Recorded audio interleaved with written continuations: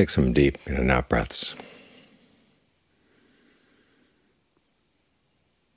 Notice how it feels. Notice where you feel it. And ask yourself if it feels comfortable. And how do you know? You watch it. Try to stay with the breath as much as you can. Where, wherever in the body it's easiest to stay focused. Because when we talk about breath, it's not just the air coming in and out of the lungs.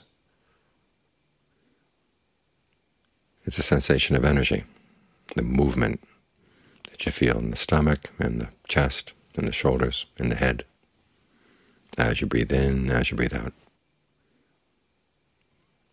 And you'll find that sometimes you breathe in a way that's nervous, or in a way that feels tight and constricted. Other times it's more open. And one of the good things about the breath, it's one of the few bodily processes that you can actually control to some extent. So if you're breathing in a way that doesn't feel comfortable, you can change. Try shorter, longer, faster, slower, deeper, more shallow, heavier, lighter. Try to gain a sense of what the body needs right now. When you're feeling tired, you want to breathe in a way that's more energizing. If you're feeling tense, breathe in a way that's more relaxed. Try to figure out what's just right. That requires you to be very sensitive to how the breath feels, so you have to give it your full attention. The problem is that when you start training the mind like this, to stay with the breath, you begin to discover there are many minds. It's like a, there's a whole committee in there. Lots of different people, lots of different opinions. But you have to realize those opinions don't destroy the breath. The breath is still there. It's like one time I was teaching meditation in a college, and they gave us a room that had an extremely loud clock. And after the session was over, everyone opened their eyes and said, it's that clock. And I had to remind them, okay, the sound of the clock was there, but the breath was also there. The sound of the clock did not destroy the breath. So in the same way, the thoughts that come into your mind right now, if they're not related to the breath, they don't destroy the breath. You simply don't have to get engaged with them. They're like little dogs on the side of the street coming up and begging for food. If you feed them, they'll keep coming back, coming back, coming back. If you don't feed them, they'll whine and whimper for a while. But then after a while, when they see that there's no food to be had, they'll leave. It's the same with these thoughts. If you give them attention, you turn them into long strings of thought. Strings of thought. That means they're going to keep coming. But if you don't pay them any attention, they'll begin to get lighter, more infrequent. They may not go away entirely, but at least they'll give you some space to stay with the breath and not be so bothered. In the meantime, while they're still coming, there are a couple of things you can think about. One is you can think of your awareness of the breath as being like the frame of a window. There are going to be sounds coming in through the window, wind coming in through the window, bugs flying back and forth through the window. But the frame of the window doesn't get disturbed by these things. It doesn't try to get in the way. It doesn't have to comment on them. And Ajaan Chah has a nice phrase. He says, it's not so much that sounds outside disturb us, we're disturbing the sounds. In other words, we're constantly making a commentary on them. And the same with these thoughts that come into the mind, these images. We don't have to comment on them to say whether they're good or bad. Just notice that they're there, but let them be in the background. They're flowing through the window, but you stay with the frame. The frame is your largest, larger awareness of the body as it's breathing in, breathing out. Another point to remind yourself is, in the Buddhist analysis, what we experience right now is the result of two things actions in the present moment and actions coming from the past. You can't go back and change your past actions, but you can change your present actions. So when these thoughts, as they first appear, they are the results of your old actions. Your mind has this habit. It's been thinking for who knows how long, talking to itself, commenting, commenting on its comments, commenting on its comments about its comments. many layers of discussion. And so as you sit down to meditate, this new committee member is going to be easily overwhelmed by the old committee members, the decisions you're making right now. But you have the choice right now. You can go with the thoughts or not. A thought presents itself as if saying, here, uh, here I am. You can think about me if you want, but we don't have to. You can say, no, thank you. Stay with the breath. No, thank you. Stay with the breath. And they may get more insistent sometimes. Other times they'll be weaker. But the important thing is not to get upset by them. Just think of them as being there in the background. As I said, your mind is like many minds, is like a committee. And this new committee member, the one that wants to meditate, is like any new committee member in a committee where the, some of the old members are really established. Doesn't know its friends yet, doesn't know who it can trust, who it can't trust. But as long as you're determined to be observant and to stick with this committee member, you begin to weaken the other ones. And you find that just by staying with the breath may not be enough, but you have to remind yourself of these things. That just because a thought comes in doesn't mean you have to engage it. And because it appears now doesn't mean it was a choice you made now for it to appear. It's based on old habits. So you're not really committed to continue with these thoughts or to get involved.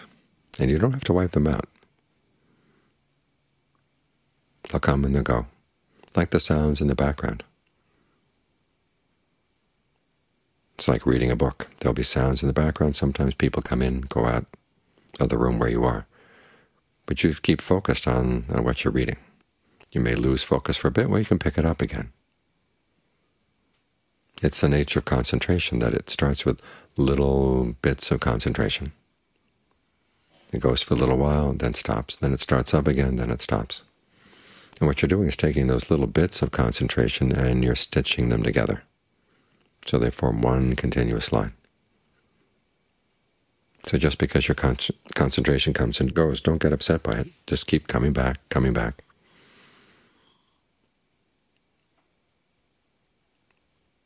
And as the breath gets more comfortable, it gets easier to stay. You might look at the breath in different parts of the body. When you breathe in, how does it feel in your stomach? How does it feel in your chest? How does it feel in your head? Is there any tension anywhere? Any unnecessary tension? Can you relax it? Can you breathe in a way where the whole stomach and the whole chest feels refreshed, the whole body feels refreshed? The whole purpose of the concentration is to give the mind a place where it feels good to stay here in the present moment.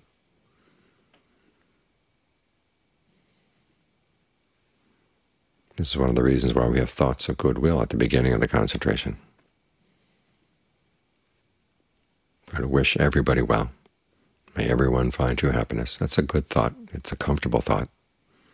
You realize you don't have any animosity toward anyone. And if in the course of your efforts to stay with the breath, a picture of someone comes up, someone you like, someone you don't like, someone you've lost, someone who's still around, just wish them goodwill. May you be happy. And then get back to the breath. This way you learn how to cut through some of the storylines that the mind might build up. It's not that thinking is bad, it's simply that we tend to think in ways that are harmful to us. Sometimes not, sometimes yes. And you want to have some control. So when a harmful thought comes up, you're able to step out easily. When a good th thought comes up, a useful thought comes up, it's perfectly fine to think. In fact, if you've been meditating and the mind has been still, it's a lot easier to think clearly about the things you really have to think about. The mind has been rested. It's very self-aware. It's alert to how a thought begins and how it's going to go. And when the thought is completed, the thought is done, I don't have to think it anymore, you can put it aside. You're learning how to be more orderly in the way you run your mind. and then you protect the mind. It doesn't have to think about anything. It's perfectly fine just to be with the breath.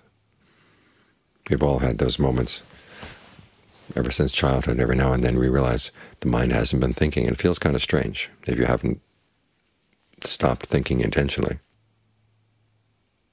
This part of the mind that says, where am I when I'm not thinking? It's as if we identify with these different voices in the mind. So for the time being, have a new voice, the voice that says, I want to meditate. You can identify with that voice. And the other thoughts come up, the other voices come up, you don't have to fight them. Some people complain that when they try to meditate to get the mind to calm down, they begin to see how uncalm the mind is. Well, it's good that you see it, but you don't have to fight things. Just notice, oh, the mind has wandered off. You just drop it, and come, and you'll be right back. You're learning a new habit, it's going to take time.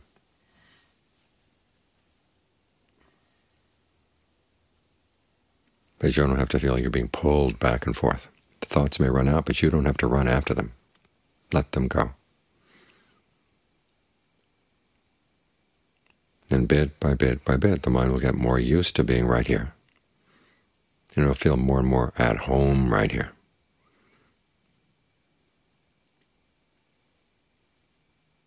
More in control. It sees the thought come up, and you can see right through it. In other words, you see where it's going to lead. And you realize, I don't have to go there. You don't have to straighten out the thought. That's one problem. Sometimes we feel a thought comes up and it's incomplete and it's not quite right. We feel we have to straighten it out. You can leave the ends dangling. Leave the thoughts incomplete. They're not needed right now. The only thinking you want to do is thinking about the breath, how you can be more snugly with the breath, more at ease with the breath. Think of the breath surrounding you as you breathe in, surrounding you as you breathe out with a nice cocoon of good breath energy.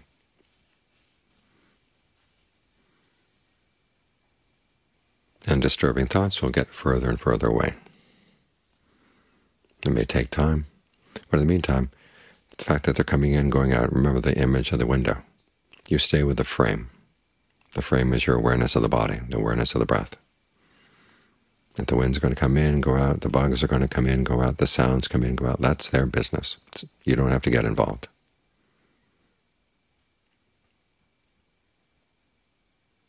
Just because something comes up in the mind doesn't mean you have to be responsible for it.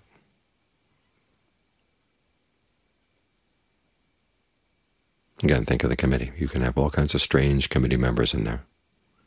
You let them chatter, but you don't have to get involved with their chatter. When you can think in this way, even though there may be thoughts coming through the mind, there can be a sense of peace and sense of feeling solidly grounded right here.